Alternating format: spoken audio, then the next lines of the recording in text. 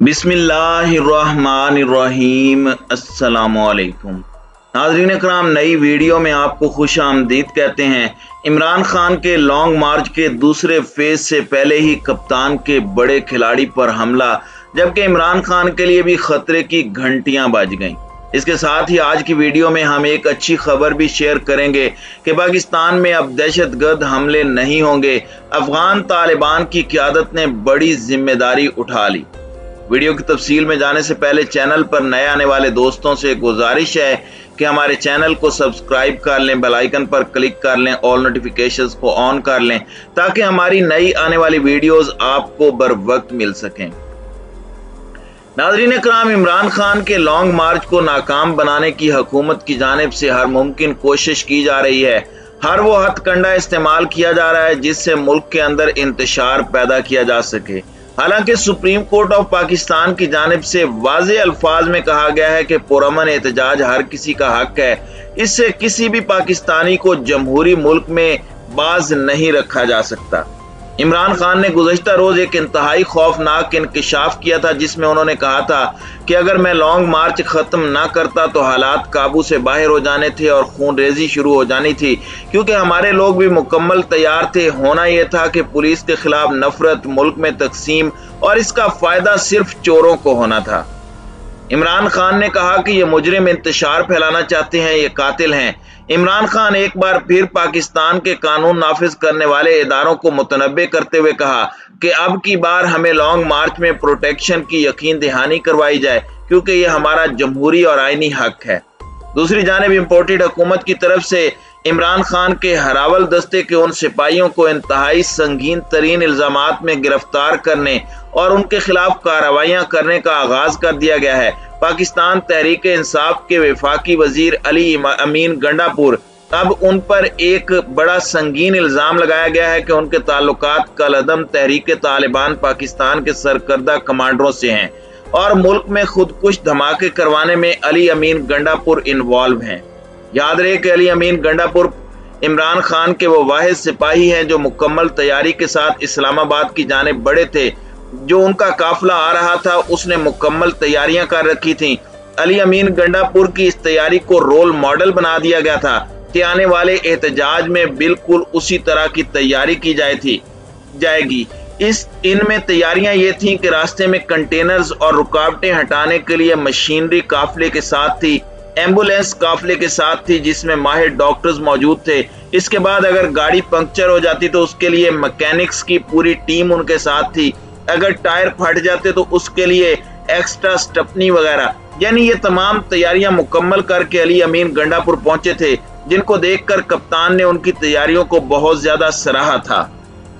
नाजरीन कराम अब एफ़ आई ए के एडिशनल डायरेक्टर इनामुल्ला खान गंडापुर ने विफाकी वज़ीर दाखिला राना सनाउल्ला से तहरीरी दरखास्त की है कि उन्हें इंसाफ फराहम किया जाए। दरखास्त में इनामुल्ला खान गंडापुर ने मौकफ इख्तियार किया कि वो के पी के के सबक वज़ीर कानून सरदार इसरारुल्ला खान गंडापुर शहीद के भाई हैं और उनके भाई को 16 अक्टूबर 2013 को शाम पाँच बजकर बीस मिनट पर डेरा इस्माइल खान की तहसील कुलाची में खुदकुश हमले में शहीद किया गया। उन्होंने कहा कि मेरे भाई सबक वज़ीर कानून सरदार असरारुल्ला खान को खुदकुश धमाके में शहीद किया गया जब वो ईद उल अजहा के मौके पर अपने हुजरे में मौजूद थे। उस धमाके में सरदार असरारुल्ला खान गंडापुर समेत छह अफराज शहीद और जख्मी हुए थे, जिनमें अक्सर की हालत तशवीशनाक थी। दरखास्त में मजीद कहा गया कि खुदकुश हमले को दहशत गर्दी का रंग दिया गया, जबकि मेरे भाई के जनाजे पर अक्सर लोगों का कहना था कि यह दहशत गर्दी नहीं, सियासी कत्ल है। इनामुल्ला गंडापुर ने बताया कि मैंने वाक़े की तहकीकात की ठान ली और अपने जराये से इस इस वाक़ से मुतालिक सबूत इकट्ठे करने शुरू किए, जिसमें एफ़ आई ए का बैकग्राउंड होने की वजह से मेरी काफ़ी मदद हुई। और उन्होंने कहा कि अल्लाह ताला के फजल करम से मेरे शहीद भाई इसरारुल्ला खान से मोहब्बत करने वाले लोग सामने आए और खुद कुछ हमले के हवाले से मुझसे मालूम शेयर की चंद माह में खुद कुछ हमले के जिम्मेदारों के मैं करीब पहुँच गया ताहम अदालत में उन्हें गुनागार साबित करने के लिए सबूत नाकाफी थे, जिस पर मेरे वकील ने मुझे मशवरा दिया कि अभी खुद कुछ धमाके के असल जिम्मेदारों के नाम सामने न लाए जाएँ। इनामुल्ला खान गंडापुर ने कहा कि कई अपीलों के बाद 2015 में एडिशनल आईजी इन्वेस्टिगेशन की सरबराही में एक नाम नेहाद ज्वाइंट इन्वेस्टिगेशन टीम मुकर की गई, जिसके इरादों का बर वक्त इल्म हो गया कि जाली जीआईटी खुदकुश धमाके के असल जिम्मेदारों को क्लीन चिट देना चाहते हैं, जिस पर जेआईटी तहलील कर दी गई। इनामुल्ला इनामुल्ला गंडापुर ने विफाकी वज़ीर दाखिला राना सनाउल्ला को दी गई दरखास्त में कहा कि अहम बात यह है कि हसास इदारे ने 20 सितंबर 2014 में कलदम टीडीपी के दहशत गर्द अब्दुल रहमान इलियास डॉक्टर को हिरासत में लिया तो उससे इब्तदाई तफ्तीश के दौरान अक्टूबर 16 अक्टूबर 2013 को मेरे भाई सबक वज़ीर कानून के पी के असरारुल्ला खान पर होने वाले खुदकुश हमले की अंदरूनी तफसील से आगाह किया। ये वही दहशत गर्द है जिसने डेरा इसमाइल खान की जेल तोड़ने में अहम किरदार अदा किया था।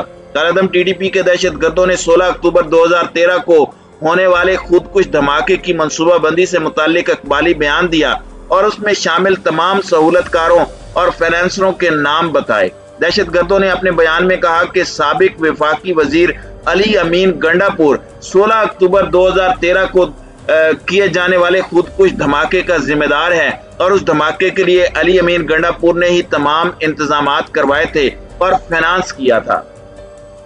दहशतगर्द अब्दुल रहमान इलियास डॉक्टर ने इंकशाफ किया कि आई के सबक विफाकी वज़ीर अली अमीन गंडापुर के उनकी फैमिली के टॉप के दहशत गर्दों से करीबी पुराने ताल्लुक हैं। तो नाजरीन कराम यह है वो असल कहानी कि अब इमरान खान के हरावल दस्ते के सिपाहियों को घेरने के लिए राना सनाउल्ला, जिस पर खुद कत्ल के मुकदमात हैं, उनसे मदद ली जा रही है। ये बिल्कुल ऐसी ही गेम खेली जा रही है कि जाती रंजिशों को इंतकाम की शक्ल देने के लिए अब सियासी कंधे को इस्तेमाल करने की कोशिश की जा रही है, जो कि इंतहाई खतरनाक रविश है। आने वाले दिनों में मजीद इमरान खान के लिए मुश्किल पैदा हो सकती हैं। उनके मजीद साथियों को दहशत गर्दों से ताल्लुक के इल्ज़ाम और दीगर मामला के अंदर घसीटा जा सकता है। और कौन नहीं जानता कि जराइम पेशा अफराद के साथ पाकिस्तान के मौजूदा वज़ीर कानून के कैसे ताल्लुक रहे हैं और किस तरह से उनको इस्तेमाल भी किया जा सकता है। नाजरीन कराम दूसरी जानब जो अच्छी खबर है वो ये है कि हुकूमत पाकिस्तान और कल अदम Tehrik Taliban T T P ने इस बार जंग बंदी को गैर मुना मुद्दत तक जारी रखने और कबायली सरहदी इलाके में तकरीबन दो दहाइयों से जारी अस्करियत पसंदी के खात्मे के लिए मुजाकर जारी रखने पर इतफाक किया है। जराये का कहना है कि गुजशत शब खत्म होने वाली जंग बंदी में तोसी, अफगान दारकूमत काबुल में दोनों फ्रीकैन के दरमियान मुजाकर में अहम पेशरफ की निशानदही करती है। जराये का कहना है कि फ्रीकैन ने इस्लामी अमारात अफ़गानिस्तान के कायम मकाम वज़ीर अजम मुला मोहम्मद हसन अखवंद के साथ उनके दफ्तर में अलहदा मुलाकातों के बाद जंग बंदी में तोसी और अमन मुजाकर जारी रखने पर इतफाक किया। जराये ने मजीद बताया कि दोनों फरीकैन के साथ अपनी मुलाकातों में नरम गो और उमर रस, उमर रसीदा रहनुमा ने इस ख्वाहिश का इजहार किया कि बातचीत और जंगबंदी को बगैर किसी हतमी तारीख के जारी रहने दिया जाए। इसके बाद होने वाले मुश्तर इजलास में फ्रीकैन ने जंग बंदी को गैर मुना मुद्दत तक जारी रखने और इस तनाज़े को ख़त्म करने के लिए मुजाकर को आगे बढ़ाने पर इतफाक़ किया।